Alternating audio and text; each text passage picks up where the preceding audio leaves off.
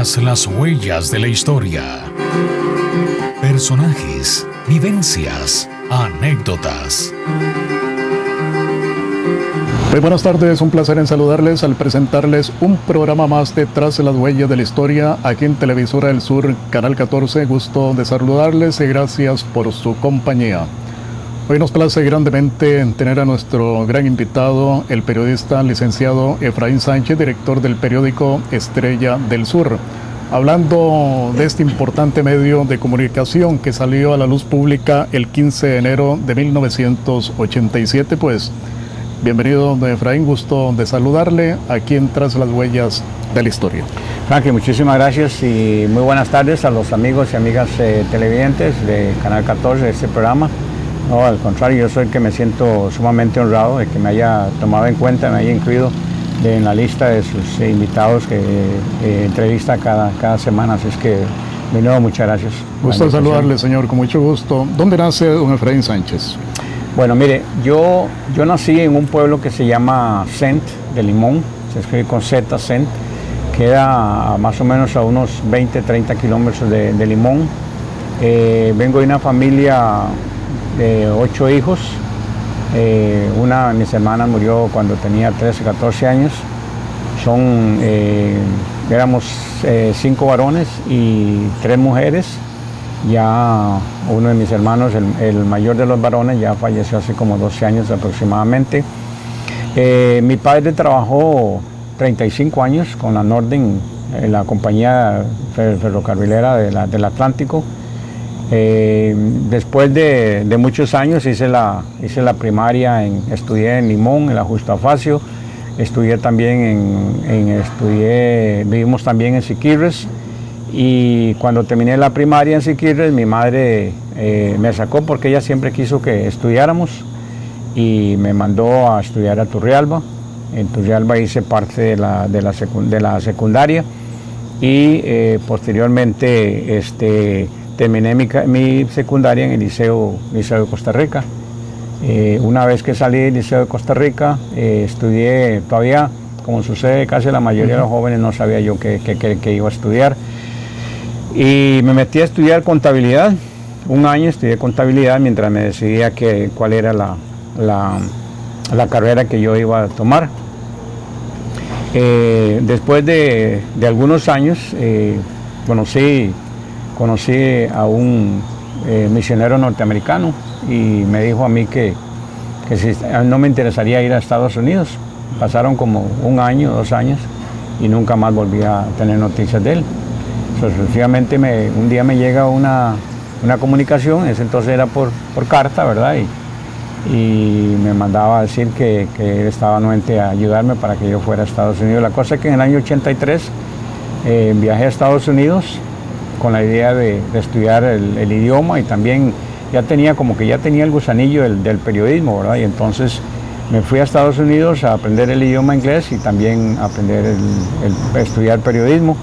Cuando estuve como tres años me, costó un poquito aprender el idioma porque la verdad es que me relacionaba mucho con, los latinos y, eso no me ayudaba mucho en el aprendizaje. ¿Cuántos años tenía cuando se fue para Estados? Eh, yo creo que andaba por ahí de los... Eh, entre los 20 y 22 años, 19, 22 años.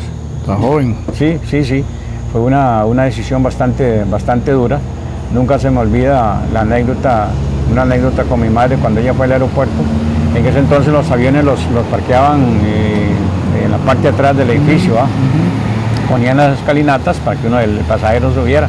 entonces mamá fue hasta las escaleras, del, avión y ahí recuerdo que mamá me jalaba el ruedo del pantalón para que para que no me fuera a Estados Unidos y bueno, ella quedó, eh, quedó demasiado afectada y lógicamente yo también, ¿verdad? Pero ya era una, creo que fue una buena decisión, ahí estudié, en Estados Unidos estuve 13 años, eh, ahí ya estudié, eh, estudié el inglés y después cuando estaba listo entré a estudiar a la Universidad de, de Texas, que me quedaba yo vivía en ese entonces en Dallas y la universidad está en, una comunidad que se llama Forward, que es más o menos como a 35 millas de Dallas, y ahí viajaba. Eh, hice la carrera del periodismo, estando allá trabajé, le hice todo para poder eh, eh, hacerle frente a los gastos, porque yo, pues, mis padres pues eran, es no eran así de, muchos recursos, ¿verdad? Y entonces la idea de, haberme ido a Estados Unidos era para, hacerle frente yo económicamente a la situación. Durante el tiempo que estuve allá, ya, por cierto que fui, sin haber sacado el título, fui corresponsal de, de La Nación, escribí varios artículos de los cuales pues, lógicamente tengo recuerdos.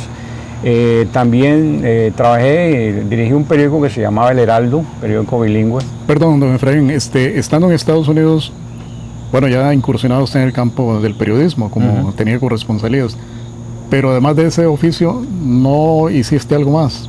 ¿Es lo que hace todo latino allá? Sí, claro, yo lo hice todo. ¿Sí? Todo, sí, sí, yo... Eh, lo único que no hice fue lavar trastos, ah, platos. No lo hice, bueno, se presentó la oportunidad, pero yo allá vendí, trabajé como vendedor de zapatos, vendí bibliotecas, eh, vendí seguros, seguros de vida, trabajé con dos compañías muy, muy fuertes en Estados Unidos, con mucho éxito. Y mientras yo podía hacerle frente, yo estudiaba, digamos, trabajaba durante el día eh, y en la noche, no, estudiaba durante el día y a las 6 de la tarde, por ejemplo, y el último trabajo que tuve tres años, entonces así pude, pude hacerle frente. Y bueno, mi sueño siempre fue regresar a Costa Rica. Yo nunca pensé en quedarme allá. Yo tenía residencia, toda mi familia tenía residencia. Este, curiosamente, cuando yo tomé la decisión, yo vendía seguros de vida. Y recuerdo cuando el, el, jefe mío, cuando le comuniqué al jefe mío que yo regresaba a Costa Rica, que renunciaba porque venía para Costa Rica. Y entonces en el idioma, en el español de él me decía, Efraín, solo tico, tico, pero usted está loco, ¿cómo va a regresar a Costa Rica? No tiene nada, usted aquí tiene carro, su mujer tiene carro, usted tiene carro, tiene casa. Él le digo, Frank, se llamaba Frank Crowder. Y le digo, Frank, es que yo vine a Estados Unidos a estudiar, no vine a quedarme. yo quiero, quiero regresar a Costa Rica, quiero, eh, esto no es lo mío, no me, no me llama la atención. Y entonces, por cierto que en Estados Unidos, en Dallas, eh, fundamos un, otro periódico, yo fundé otro periódico con un mexicano y una argentina. El periódico todavía existe, en este momento es el periódico más fuerte en el sur de Estados Unidos, se llama El Sol de Texas. Pero ya usted se había graduado de periodista. Eh, no? todavía no, ah, todavía no, cuando lo fundamos ese periódico todavía no. este, ya yo estaba estudiando. Sí. Y en Estados Unidos, pues es como aquí, yo no sé si habrán cambiado las leyes, pero cuando yo estudiaba allá, no era necesario que usted fuera, fuese periodista para ejercer la profesión. Y entonces eh, fundamos, eh, entre ellos, la Argentina, el, mexicano y yo, fundamos el periódico, y que ya le digo, hoy en día se ha convertido en el periódico más fuerte bilingüe del, sur de Estados Unidos. Eh, recuerdo el desconocimiento mío, la ignorancia mía, yo tenía, económicamente tenía, tenía participación en ese periódico pero ya yo estaba tan, no sé, estaba tan ilusionado en regresar a Costa Rica que en ese momento no me importó, simplemente renuncié y me vine. Con los años, por ahí, hablando con alguna gente en Costa Rica, me dicen, Efraín, usted tiene derecho, vaya a Estados Unidos y reclama sus derechos. Entonces, llegué allá y en verdad puse a investigar, el periódico estaba circulando todavía y entonces ya el periódico lo habían vendido, entonces ya yo no, no podía hacer nada.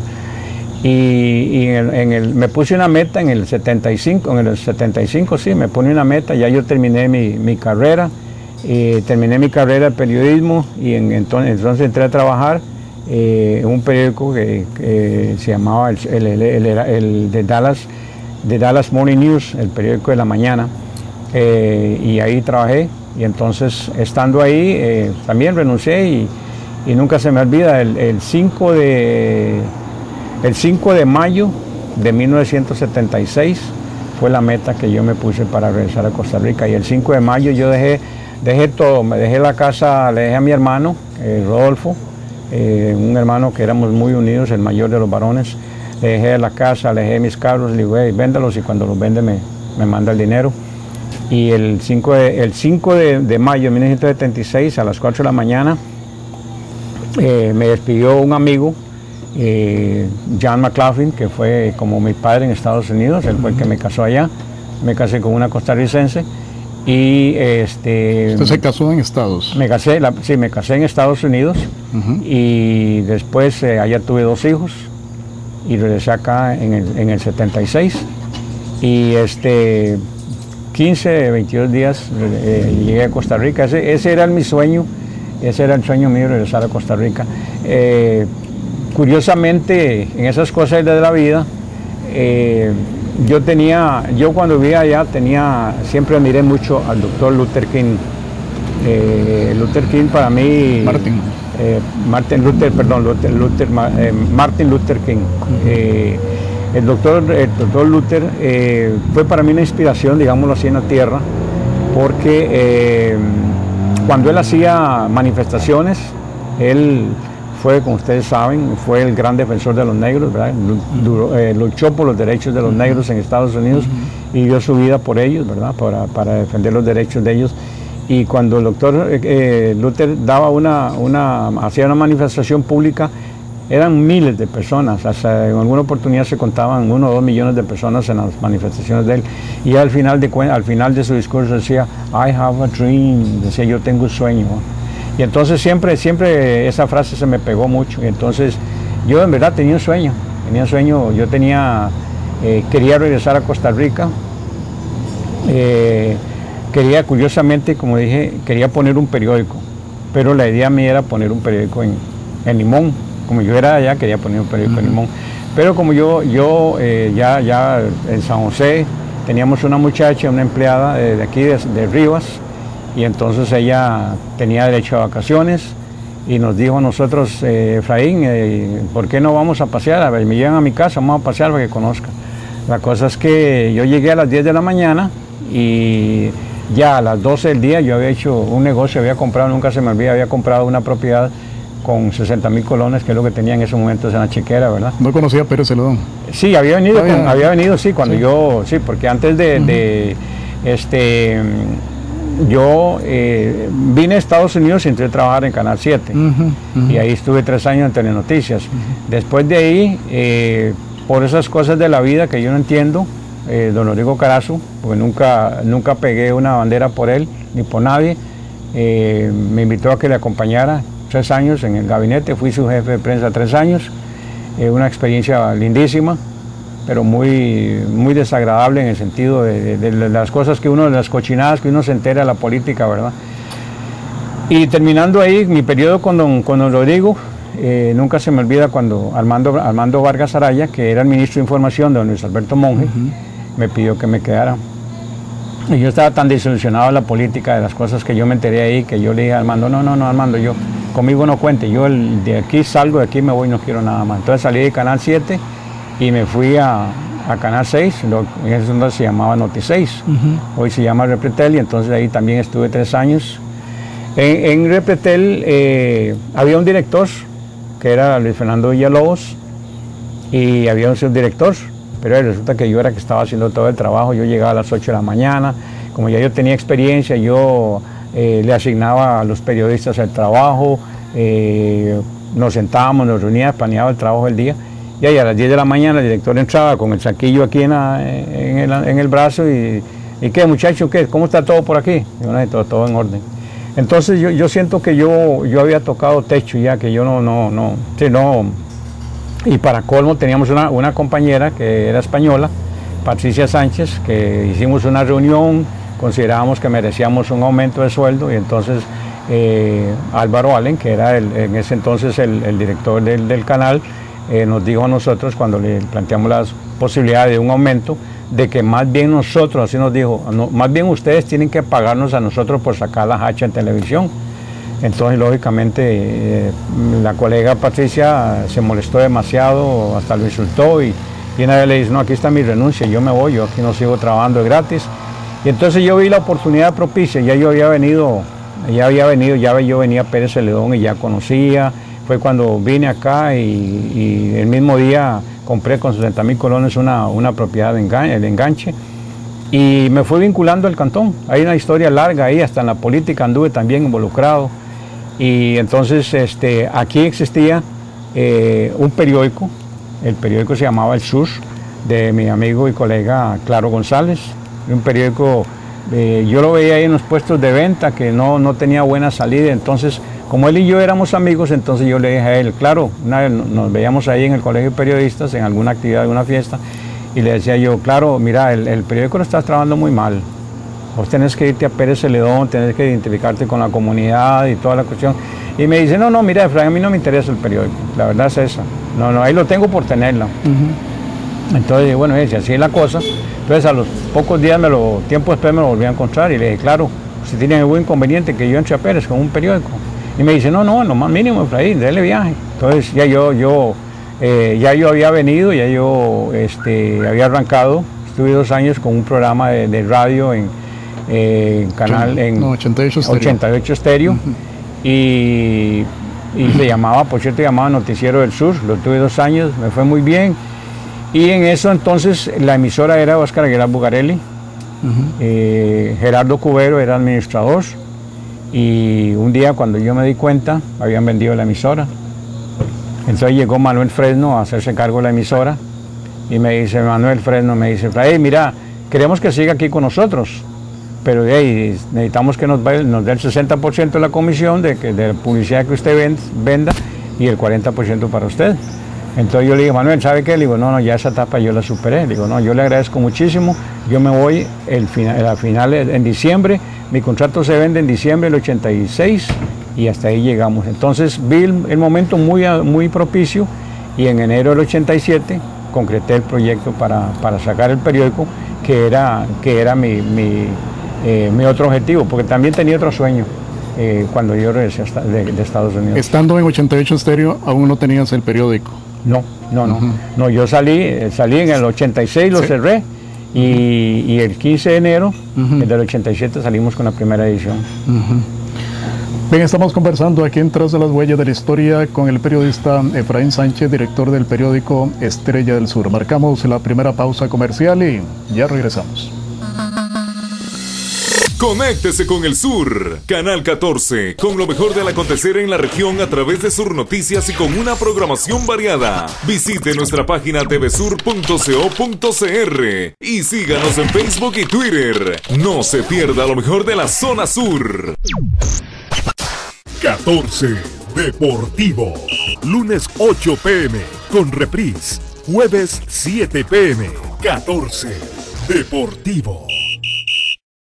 Continuamos en este programa Tras a las huellas de la historia, conversando con el periodista director del periódico del Sur, licenciado Efraín Sánchez. Bueno, Efraín, pasa la radio, 88 Estéreo. Viene su gran ilusión, el periódico Estrella del Sur. Bueno, así es, así es. Este, eh, ya en el 86, los últimos meses del 86, cuando yo sabía que ya el programa de radio no iba a seguir, entonces hice los preparativos y nunca se me olvida, el, el 15 de, enero, eh, por cierto que, que, cometí un error muy grave. En esa primera edición yo creía que todo el mundo iba a leer eh, mi periódico, el periódico, entonces eh, en, en, esa primera edición yo hice un tiraje de 5.000 ejemplares y entonces este, me sobraron como 4.500. Yo casi, cuando salió la, la edición número 2, casi me pongo a llorar. No, pero le quedaron pocos. 4.500. 4.500. 4.500 ah, me quedaron. No, no, vendimos solamente 500, ¿verdad? Solo 500. Y, solo, y entonces casi, casi me pongo a llorar, ¿verdad? De la desilusión, digámoslo así, pero... Hey, no se decepcionó. No, no, no, no, no, no, no, al era, eh, por eso era entrada. No, estaba entrada normal, yo no podía esperar otra cosa, que para que yo fui tan ingenuo empecé que se iban del todo, ¿verdad? ¿Qué recuerda usted? Eh, un segundito, Efraín. ¿Qué le llega a la mente en estos momentos, en ese primero, esa primera, mm, ese primer tiraje que usted hizo de la Estrella del Sur? ¿Qué noticias? ¿Con qué entró usted? ¿Qué recuerda?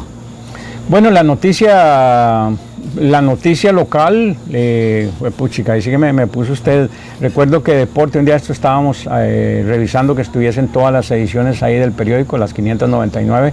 Eh, curiosamente, solamente me falta una, una, una edición del año 90 cuando algunas personas recuerdan cuando Alberto escribió el bolio me, me, mandó y es la única edición que me falta, la de, abril del 90. Eh, eran, eran aspectos económicos, eh, creo que con la nota, yo abrí con una nota de, economía, si no me equivoco, fue la, eh, pero después habían, repasando el periódico, deporte, deporte, pero puchiga, recordar ahorita no, no, no recuerdo los, los, títulos, pero, pero sí, y hay veces me pongo a ver la primera edición con lo que hemos hecho y, oh, puchica, cómo cambian los tiempos, ¿verdad? Pero se siente este con ese primer tiraje, aunque no, no fue en su totalidad como usted lo esperaba, pero ahí empezó y empezó y empezó. ¿Se siente usted satisfecho? Eh, usted sabe que satisfecho uno no puede sentirse siempre, eh, Franklin. Sí. Eh, uno quiere más. cuando yo abrí el periódico, el sueño mío era sacarlo semanal. El periódico dice, un día, por cierto, en el programa siempre hice algunas consultas. Estrella del Sur, bueno, la idea me era iluminar, como dicen, todo el sur. Por eso puse ese nombre. Porque yo tenía en la mira en un futuro poder irme a, a otros cantones. Pero bueno, usted que lleva tantos años eh, en esta cuestión, usted creo que usted me gana a mí, eh, en, el, periodismo local, eh, sabe muy bien lo difícil que es, ¿verdad? Que la gente, la misma gente crea en, nosotros que el producto nuestro es, bueno, ¿entiende? A mí me da, me da cosa, me da tristeza muchas veces cuando a estas alturas hay gente que uno llega a venderle publicidad y le dice, mira Efraín, yo no me anuncio con el periódico porque nadie lo lee. Es decir, tiene que ser uno muy ingenuo para decir que un periódico después de 30 años no lo lee nadie. Si algo hemos luchado nosotros eh, es que el periódico tenga circulación, porque nunca se, nunca se me olvida, había un colega, un amigo que yo tenía en Publicidad Garnier, y cuando yo le conté que me habían sobrado 4.500 ejemplares, me dice, Efraín, tranquilo, vas a llevar Pablo al principio, no se desanime, entonces él me dio unos consejos, me dice, vea, eh, váyase usted a las comunidades del, cantón, eh, llévese periódico viejo, cuando haya fiestas o partidos de fútbol o lo que sea, y llévese periódicos viejos, y entonces llega y, se, lleva, eh, se lleva a sus hijos, o usted mismo va y le dice a la gente, ¿conoce usted a Jesús? Pues no, no, no, ok, le voy a regalar un periódico para que lo conozca. Y si le gusta, la próxima vez que vea el periódico nos apoya. Franklin, amigos y amigas televidentes, no tiene usted, no tiene usted idea lo efectivo que me resultó este plan.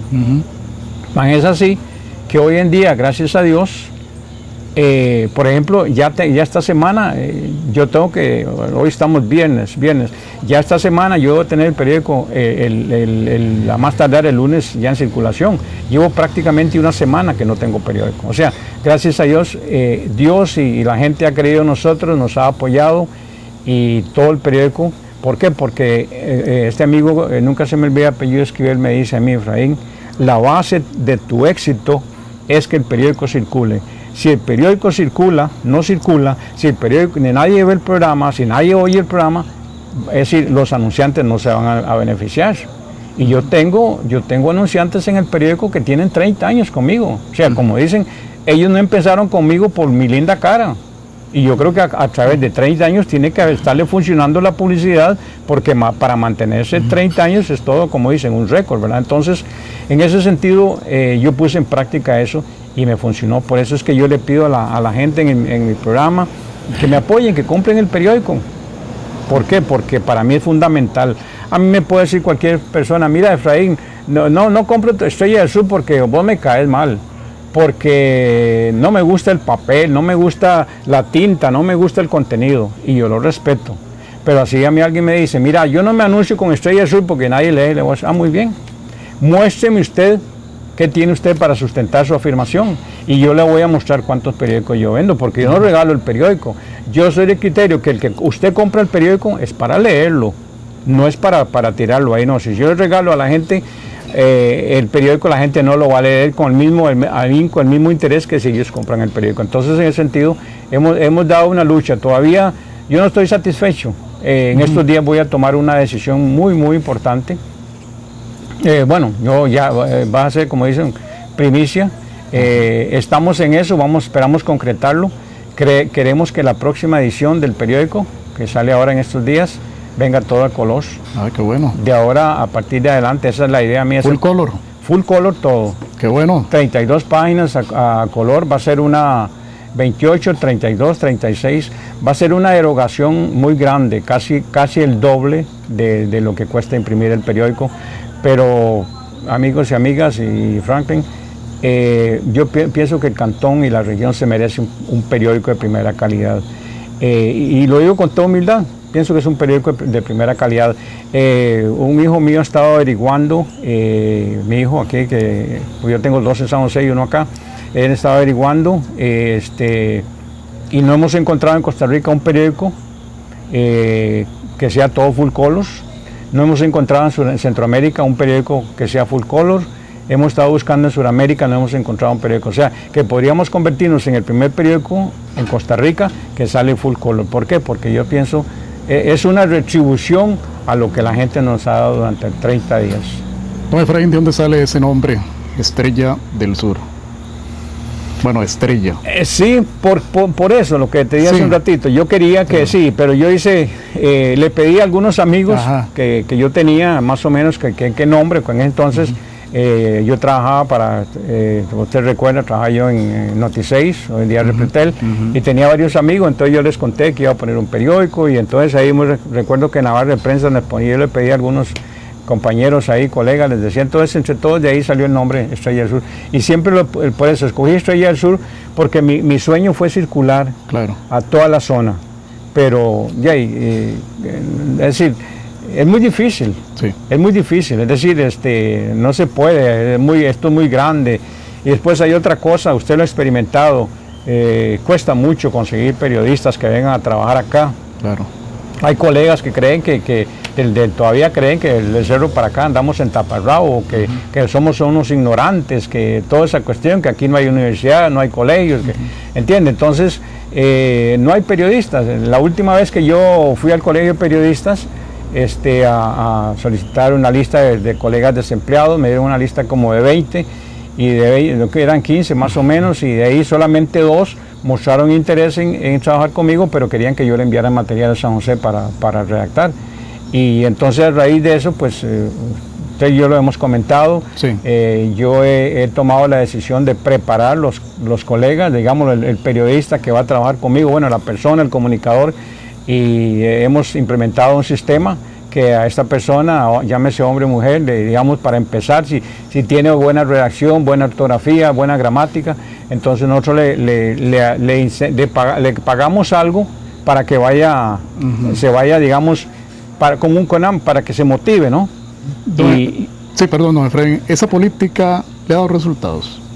Sí me ha dado resultado, sí me ha dado resultado. Yo, yo este, tengo tres casos, que, tres, cuatro casos de, colegas, digamos, que estudiaron y, y fueron exitosos. Eh, y entonces, eh, sí, sí ha dado resultado.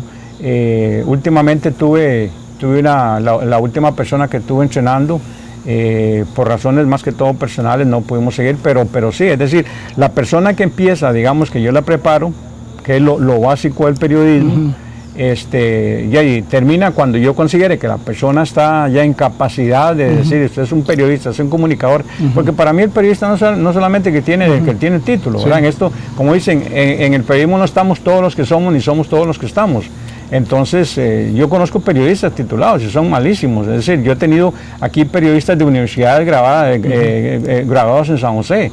Y he tenido, desde tres, cuatro meses, he tenido que decirle, no, mire, perdóneme, pero usted está muy mal en reacción, muy mal en ortografía, muy mal en gramática. Yo le aconsejo que vaya a San José, haga un cursito y después regrese a ver si el asunto mejoró. O que vayan a la zona de confort. O que vayan a la zona de confort, ¿entiende? Entonces, este, es muy difícil. En todo lo que quería decirle que la persona y ya yo tuve, tuve dos casos. La persona empieza, digamos, con una, un incentivo que yo le doy y yo le digo a él o a ella, vea, conforme usted vaya mejorando su redacción, el, el aspecto económico va subiendo, va subiendo. Y yo tuve el caso de dos personas que, que salieron eh, de, de, mi, de, mi, empresa eh, hechos comunicadores y, ganando prácticamente como un comunicador, ¿entiende? Entonces, este, pero es muy difícil, es, es muy difícil. ¿Cuesta mucho sacar un periódico ya semanal, don Efraín? Eh, no, no cuesta tanto. Yo pienso que a esas alturas eh, ese era el paso que yo tenía que dar. Pero volvemos a lo mismo. En estos momentos, Franklin, el problema que tengo es el problema personal. Sí. ¿Entiende? Entonces, no cuesta, porque yo no, voy, no puedo ir a eh, mientras yo preparo una persona, una persona para prepararla, yo necesito mínimo, digamos, mínimo cuatro, tres, cuatro meses, ¿entiende? Claro, Y entonces, porque desgraciadamente, ve, yo ahorita en esta entrevista yo puedo cometer un error. Puedo decir, eh, oye, espero que haya, que haya sol ahora. Eh, puedo decir por la radio, espero que haya sol. Y, puedo corregir. Pero yo en, en el periódico no nos perdonan, cometemos un error y no nos perdonan. Ya hemos tenido gente, hemos cometido algún error eh, que se me, algún error se me ha ido a mí, por ejemplo, la última vez fue un, error en editorial y, hubo un, una persona que llamó al periódico y llegó al periódico a decirme que qué bárbaro, que nosotros hasta ignorante nos trató. Porque no, es decir, los medios de comunicación escrito no hay lugar para errores porque supuestamente los medios de comunicación somos para informar y para educar. Y como digamos, por ejemplo, si yo en un periódico con un montón de errores, y ahí nadie me lo va a comprar, porque entiende. Entonces es muy difícil por eso, ¿verdad? Porque... Bueno, las personas se pueden preguntar y tenemos al fundador del periódico Estrella del Sur, ¿cuántos tirajes por el momento y dónde está imprimiendo el periódico, Efraín? Bueno, eh, Franklin, nosotros eh, cuando empezamos el periódico, nosotros hacíamos un, tiraje de más o menos, andábamos entre 3 y 5. El periódico empezó quincenal. Estrella Sur salió quincenal. Hace casi dos años, tal vez menos, se me descompuso la máquina. Se sabe que yo tengo mi propia imprenta. Y imprimíamos, por ejemplo, había una quincena de 2.000, otra, otra quincena de 2.500, según como estuviera, que usted sabe que esto es de la, depende de la publicidad, ¿verdad? Eh, ya tenemos como año y resto de estar imprimiendo afuera y sale mucho más caro. Es decir, casi el doble de que si yo estuviera, eh, estuviera imprimiendo el periódico. Eh, entonces, a raíz de eso, eso nos ha visto, digamos, mermar un poquito, no mucho. por ejemplo, 1500, 1600, 1700. hace poco hicimos un suplemento y tiramos 2000 ejemplares. Eh, todo, todo el periódico, sí, la gran satisfacción que me queda es que todo el periódico se vende, pero, pero sí, es, eh, muy difícil porque hay, eh, ¿cómo se llama? hay, que, lo ideal es eso, usted, usted, yo por eso, yo le hago mucho, le digo a la gente que, que, me apoyen, que compren el periódico, yo todo durante los 15 días, yo voy, visito los puestos para ver cómo va, ¿me entiende? Cómo va saliendo el periódico pero, pero sí es, sale, sale bastante caro. Y, ahora el problema que tengo, ya la máquina ya la reparé, ahora el problema que tengo es que no hay prensista. Eh, en Pérez León, el prensista que yo tenía, él cambió de trabajo, él lo hacía, lo hacía después de las 6 de la tarde, él me imprimía. Eh, y entonces eh, espero, espero, tal vez antes de que finalice el año, o, a principios de año poder retomar el periódico 15 días como lo, como lo teníamos. Fueron 28 años y medio que salió cada 15 días regularmente. Bueno, ¿qué opina usted? ¿Cuál es la percepción suya en torno a las redes sociales? Para mucha gente los periódicos tienden a desaparecer, a estar las redes sociales. Al existir las redes sociales, ¿cuál es el punto de vista suyo? Bueno, eh, hace muchos, hace unos cinco años, tal vez más años, hubo personas que me dijo a mí que, que dijeron que el periódico, los periódicos iban a, iban a desaparecer. Eh, hay, eh, hay, una, hay una, yo pienso que algunas personas tienen una, una opinión un poco errónea. Para mí las redes sociales es excelente, es un, es, es un medio de comunicación más, pero no es el único.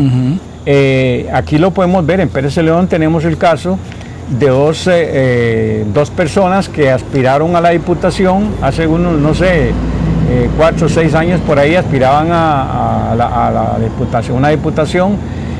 recuerdo que a mí los dos me dijeron, no, Efraín, esta vez no vamos a hacer, no vamos a hacer propaganda, ni en radio, ni en televisión, ni en periódico. Y, y hoy en día son cadáveres políticos. Ellos creyeron que que, con las redes sociales era suficiente. No, pero para mí, excelente, excelente. Es un complemento, pero no es lo único. Yo no sé si a usted le pasa, pero yo, eh, yo ahora tuve que poner a, mi hijo que se encargara, por ejemplo, en Facebook. Yo tenía una página que, realmente la tuve muchos años, no me generó nada. Eh, entonces decidí cambiarla únicamente a Facebook y me ha resultado fabuloso para publicidad. Entonces yo no tengo tiempo, no, no puedo, es decir, no puedo de vez en cuando que hay algo ahí importante, mi hijo me dice, papá, venga, yo quiero que vea esto, ¿entiendes? Yo saco el rato y él me dice, mire esto y esto. Pero, pero no todo el mundo, todavía hay muchísima gente que le gusta leer los periódicos. Yo conozco, he conocido gente en el campo que me dice, no, Efraín, yo en las redes sociales, no, a mí me gusta el periódico, un sábado, un domingo, sentarme en la tarde a leer el periódico con una tacita de café, me encanta leer el periódico.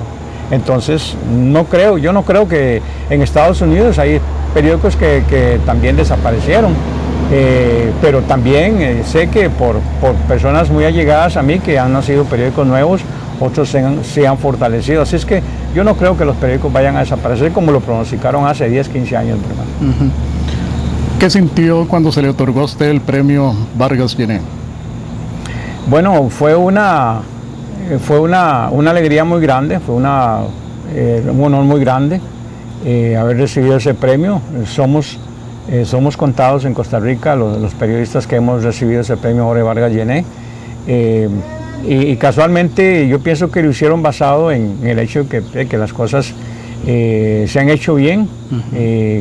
yo he tratado, digamos, fui presidente de la de la red de medios de comunicación rurales y alternativos en Costa Rica hace algunos años cuando viajaba más frecuente a San José y traté de inculcarles a los colegas y a las colegas de que trabajáramos bien el periódico, ¿verdad?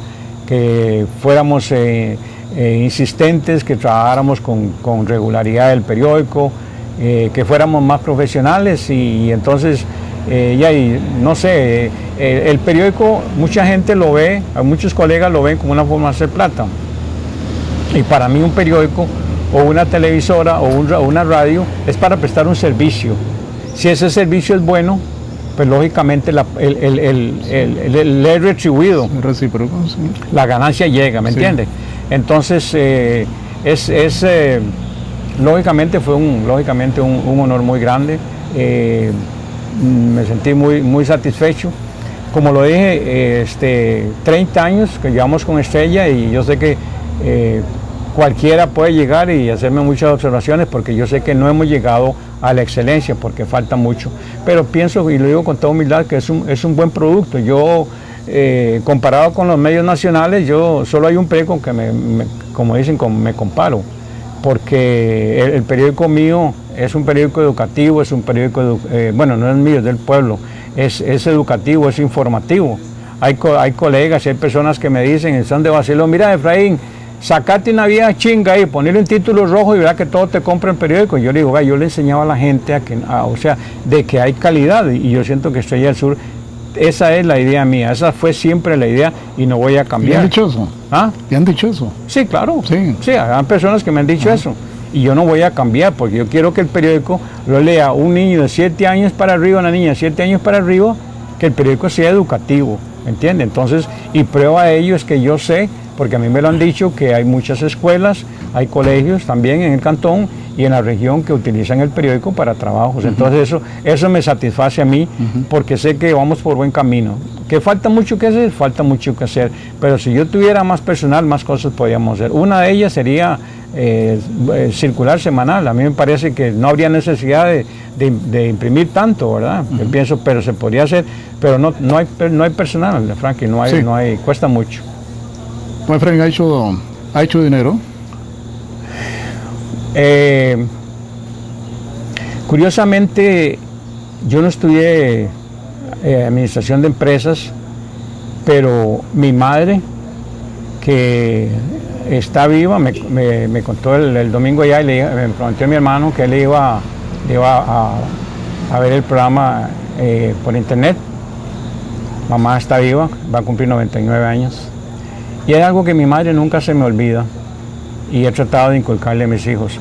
Yo recuerdo cuando yo tuve, yo tenía como 13 años, porque venimos de una familia pobre, no, no pobre extrema, digamos media, llamémoslo así. Y cuando yo, yo fui a trabajar como, como, eh, como vendedor en, un negocio de un chino, y cuando yo recibí el primer sueldo, mamá llegó y me dice, eh, nunca se me olvida, estábamos solitos, los demás estaban en la escuela y el colegio, y llegó mamá y agarró mi sueldo. Y venga, mi hijito, siéntense aquí. Y nos sentamos ella y yo, y mamá agarró ese sueldo, ese primer sueldo que yo recibí, y entonces lo dividió en tres partes. Y mamá me dice, tome, una parte es para usted, otra parte es para que usted ahorre y otra parte es para que usted ayude a la casa por su responsabilidad. Y entonces así empecé. Es decir, cuando yo empecé con, con, yo, digamos, los dos años que tuve con la radio y me fue bien, entonces yo apliqué esa, esa práctica o esa teoría, digámoslo así. Y entonces eh, yo he sabido manejar la, empresa y prueba a ellos que eh, también, a pesar de que no, no, no soy muy experto en finanzas, eh, me ha dado, el periódico me ha dado, compramos la, imprenta en efectivo, fueron este, 20 millones que pagué por la imprenta, eh, compré el edificio, un buen negocio que hice, prácticamente que tengo en efectivo. Y, yo gracias a Dios, yo le doy gracias a Dios, eh, soy un hombre con muchos defectos, muchas debilidades, pero yo creo en Dios sobre todas las toda cosas en la vida. Yo vi, de joven vi la mano de Dios en mi vida, yo le tengo mucho temor a Dios y mucho respeto. Y, he, sabido, he sabido administrar bien, eh, digamos, lo poquito que Dios me ha dado. Eh, no hemos tenido, me digo, en, en 30 años, no hemos, 32 años no hemos tenido problemas económicos. No puedo decir que tengo dinero en abundancia, pero eh, vivo, digamos, sin preocupaciones en ese sentido. creo que el hecho de, negocios que he hecho me ha salido bien y, y a mí no, como digo, nunca me, nunca me, yo no, nunca soy, nunca he sido ambicionado al dinero. Cuando yo me vine a Estados Unidos en el año 76, yo ganaba, como dicen los guatemaltecos, ganaba buen pisto, ganaba buen dinero. Y prueba es que mi patrón me dijo a mí, Freddy, pero usted está loco, ¿cómo va a renunciar usted un sueldo que tiene, que tiene una casa, tiene cada, su, señora y usted tiene carro, tiene un trabajo fijo? Digo, es que para mí eso no es lo primordial. Y algo más antes de irnos a un corte que quiero decir. Eh, uno, en la, uno en la vida debe tener sueños, debe tener aspiraciones. Cuando yo vivía en Estados Unidos, yo aprendí tantas cosas buenas y yo tenía dos sueños. Como decía el doctor Luther King, I have a dream.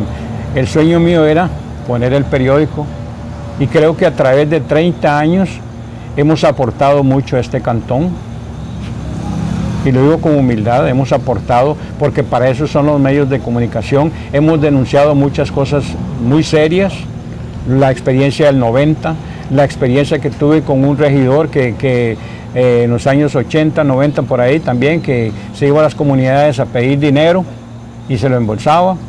Denunciamos eso. Recuerdo cuando salió el periódico y el regidor se paró y dice, si Esquivel Borio no le cerró el periódico, yo se lo voy a cerrar y el señor pasó muchísimos años en la cárcel a raíz, de ese, ese error humano que él cometió.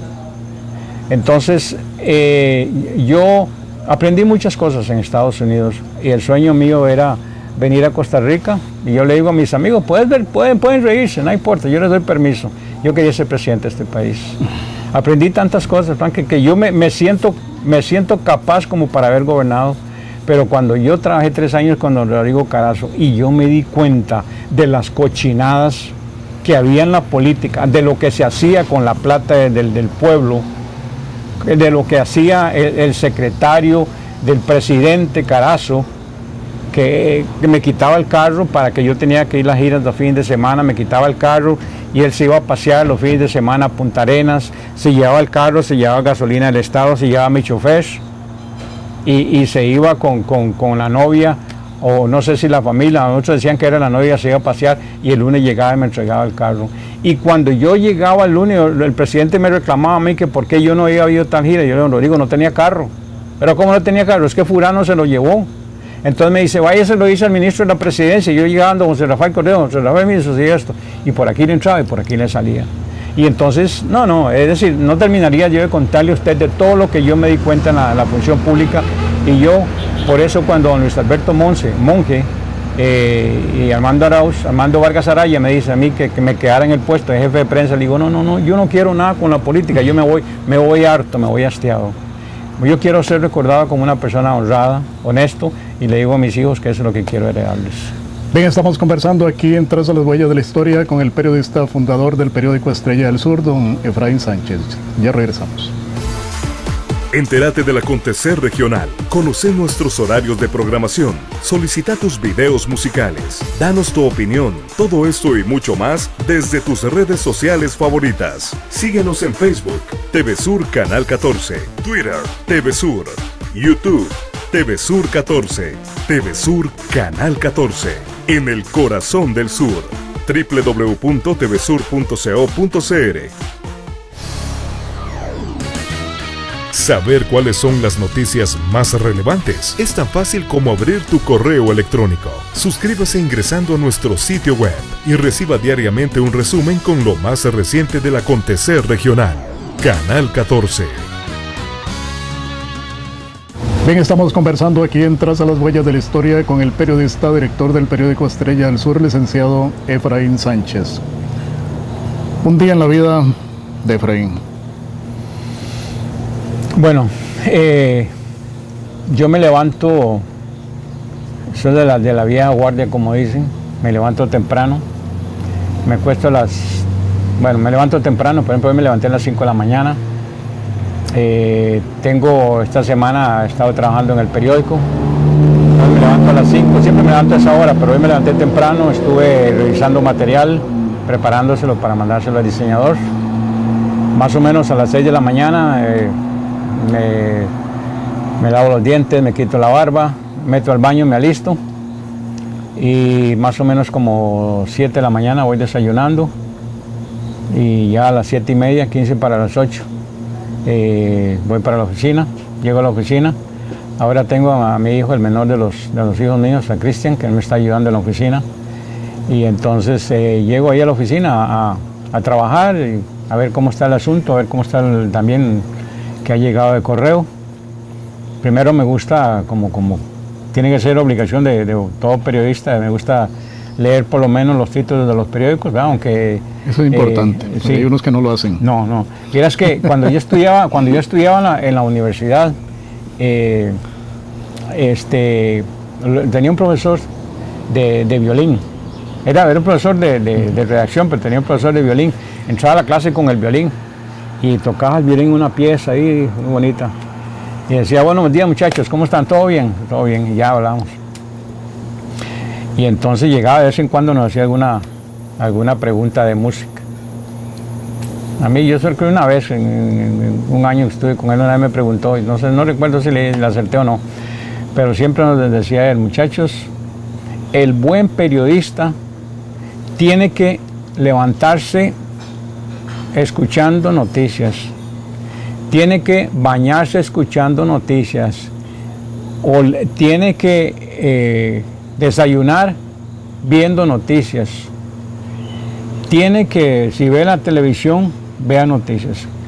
El comunicador, antes de salir a trabajar, debe ir empapado ya, informado de lo que sucedió en, en, el mundo, en su alrededor, en su comunidad. Entonces me gusta llegar a la oficina, yo ojeo, le doy una ojeita a los periódicos. Eh, cuando llego una noche a la casa, este, eh, me gusta ya con tiempo, hay artículos que me gusta. Me gusta más La Nación, es el único periódico que realmente le pongo, le pongo atención. Estoy ahí, digamos, haciendo a las 12, 12 y media, eh, me voy a la casa a almorzar, yo almuerzo, veo las noticias. Después de que leo las noticias, eh, me gusta descansar. Siempre he creído que el cuerpo humano es como una planta si no se cuida.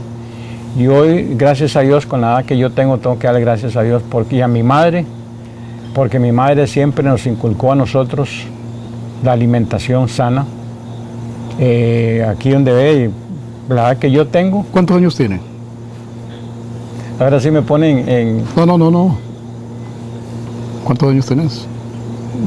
Digamos que entre 60 y 70, ¿qué le parece? No, entre 70 y 75, por ahí andamos. Para por, ahí anda, por ahí anda. Por ahí andamos, sí. Ok, ok. ¿Y cómo se llama? Pero goza de buena salud. Está muy bien. Gracias a Dios, gracias a Dios sí. Es, es, lo, es lo, mejor que tengo en la vida. ¿No padeces? No, lo único que me obligaron a tomar pastillas para la presión.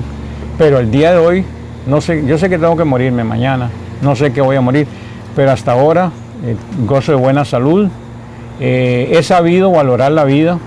Uh -huh. Yo me he prevenido, digamos, enfermedades cada seis meses. Eh, toda la vida, desde que tengo, yo recuerdo de que yo en Estados Unidos yo me hago exámenes de todo uh -huh. completos, uh -huh. porque el dinero no compra la salud.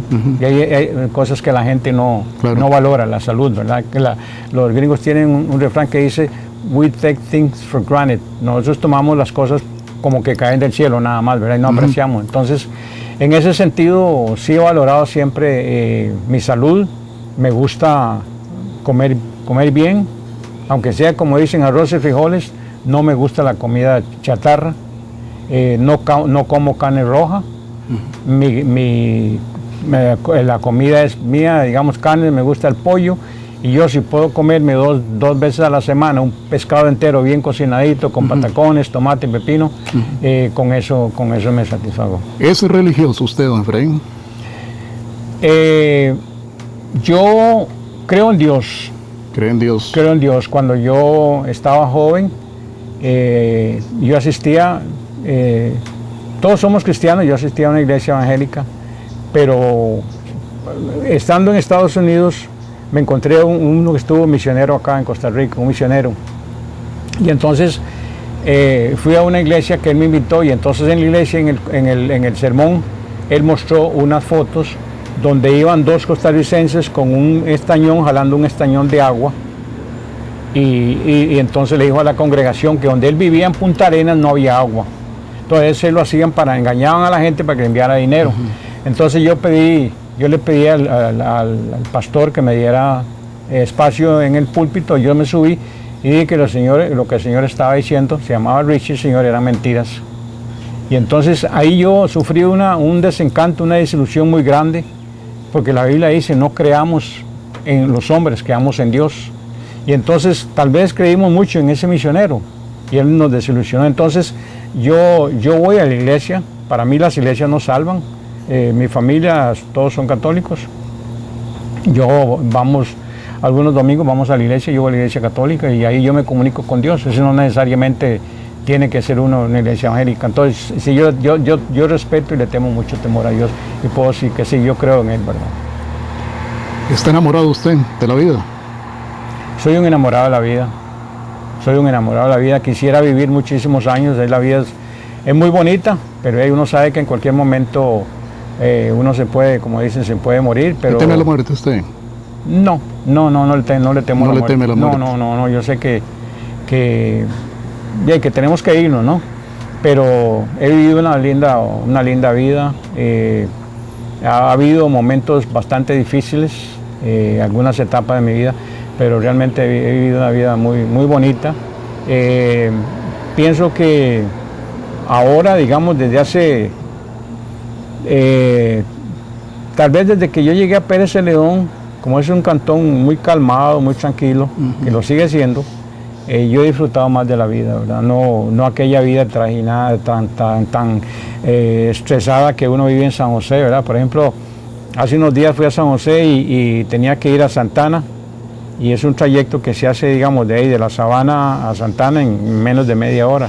Y ese día duré hora y media y llegué yo regresé a, regresé a la ciudad todo estresado, con unos dolores fuertísimos en los hombros. Y, y entonces, yo pienso que, que, uno disfruta más en el campo, y así es que no me puedo quejar, Dios, Dios ha sido benévolo conmigo, ha sido bueno conmigo.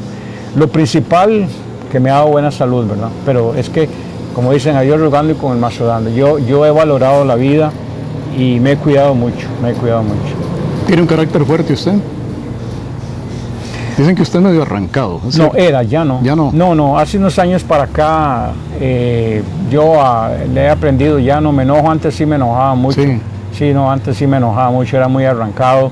Eh, por ejemplo, antes yo iba a San José y, por ejemplo, iba por la avenida Segunda y, estaba ese fin y yo comenzaba a sonar la bocina, la bocina y jale, jale, jale, jale. Y entonces comenzaba ahí, la gente me insultaba, yo le insultaba cualquier cosa. No aguantaba nada. No aguantaba nada. Entonces ahora no, ahora yo voy a San José y voy a ir por la Avenida Segunda y está la presa, simplemente apago el carro, ando los periódicos ahí y me pongo a leer el periódico. Si el otro atrás me suena la bocina, simplemente arranco el carro y, y camino. Es decir, eh, camino. Ya no, no, no, porque. Eh, eh, los doctores le dicen a uno, mira, usted no puede morir, no se usted se puede morir no solamente porque tiene un infarto, porque tiene triglicéridos o, o colesterol alto, sino se puede morir también por un colerón. Entonces, ya ahí como le digo, no, no sé, yo quiero vivir muchos años, pero quiero vivir años en que yo pueda seguir siendo útil a la sociedad, que siga aportando. ¿Cómo quiere que se le recuerde, don Efraín? Eh, quiero que se me, eh, se me, recuerde como un periodista honrado, como una persona honrada, nunca le he robado a nadie nada. Eh, he sido honesto en el ejercicio de la profesión. no quiero que se me recuerde como un jamochero, como decimos nosotros los periodistas que quiero que un día mis hijos van por la calle y me recuerdan y me recuerden a su padre como un hombre honrado, como un buen periodista, eh, no como, como digamos alguien que, se vendía. Eh, yo en el ejercicio de la profesión aquí en Pérez Celedón he tenido buenas ofertas de políticos. Recuerdo hace algunos años que hubo un político de un partido mayoritario que me dijo a mí, Efraín, quiero hablar con vos. Y entonces ya yo tenía como tal vez como unos 5 o 6 años ya con el periódico. Y entonces me invitó a su casa, fuimos a su casa allá en San José, yo llevé con mis dos hijos y conversamos y me dice, mira Efraín, yo lo que quiero es que me pongas el periódico a mi disposición. Y si yo soy presidente, yo te compro una, una imprenta. Entonces yo le dije, no, ¿sabe qué? Le digo, no, no, eso no va conmigo. Le digo, yo lo siento mucho. Yo como teníamos un poco amistad, como yo trabajaba en, en, trabajé en Canal 6, en Canal 7, yo lo conocía y más de una vez lo entrevisté y más de una vez fui con él a giras. Pero digo, yo llegar a ese extremo no, digo, yo no. Digo, entonces yo le pregunto, ¿qué pasa si usted pierde? Digo, hecho, quedo yo hecho leña. Digo, no, no, de ninguna manera. No, no va conmigo. Yo como, como, como persona puedo, puedo ayudarle moralmente, pero ya con el periódico no puedo, porque eh, yo tengo planes y espero que Dios me ayude y, y bueno, no, no me equivoqué, fue una buena decisión porque el, el hombre nunca llegó a ser presidente de Costa Rica. Muy bien, para ir finalizando, ¿qué se le queda por hacer? ¿Qué se me queda por hacer?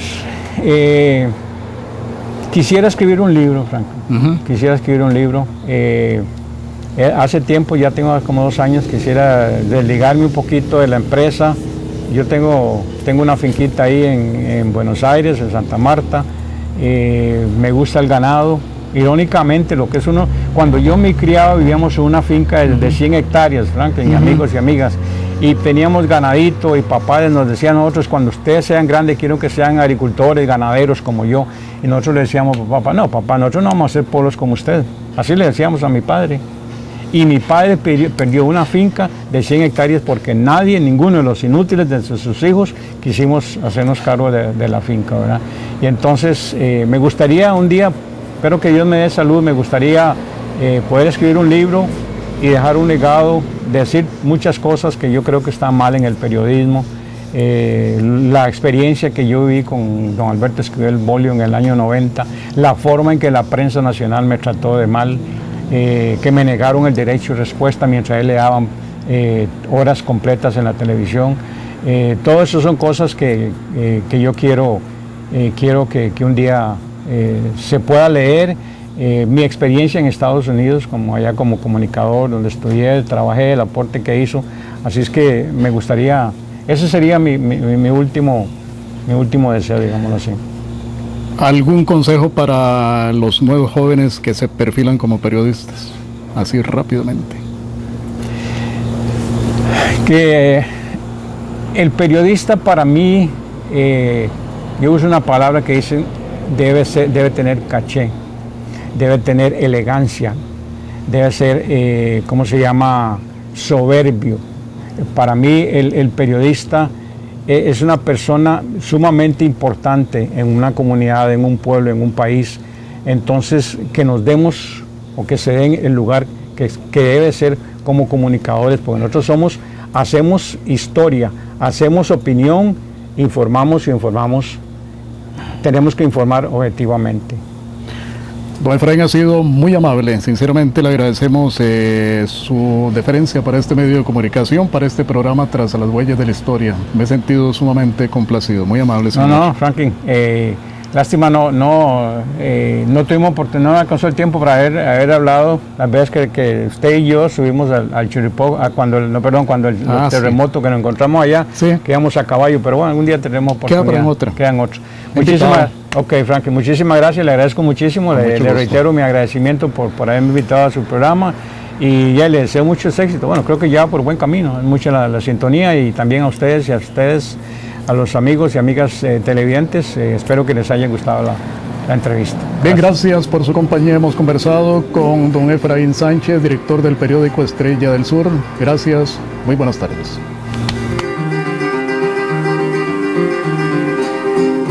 Las huellas de la historia. Personajes, vivencias, anécdotas.